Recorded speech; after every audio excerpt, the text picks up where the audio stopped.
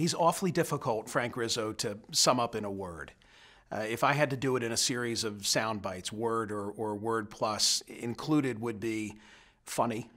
That might be at the top of my list. I mean, he was one hell of a storyteller. He was one hell of a joke teller.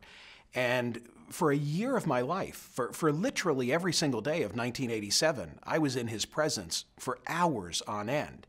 And it was a blast, you know, to be at that age and in the midst of a campaign like that and to enjoy his company. Uh, there were four of us in the car for a year. Steve Solvetta was the driver. Mayor Rizzo would sit shotgun.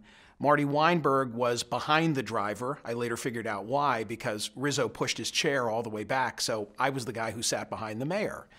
And to drive the city limits with him, where he had a story about every single intersection and things that had happened and people that he'd met.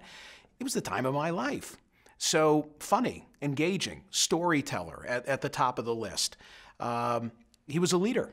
I mean, he, he loved being a leader and he loved being in that commanding role.